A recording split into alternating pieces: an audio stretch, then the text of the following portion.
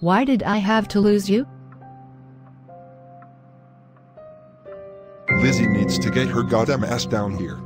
Please, Ian, calm down. She has had a hard life.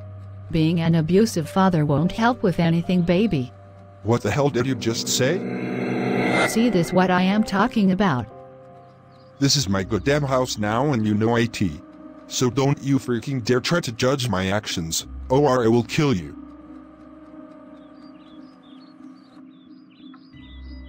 Lizzie, get the hell down here. It's time for school. Okay, stepdad.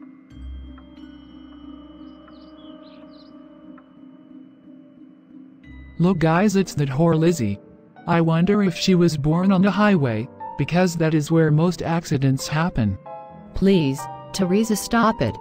Stop talking and pay attention, Lizzie. For such a bright girl, you talk a lot. Don't listen to those girls, Lizzie. It's okay. Aw, thank you so much, Kyle.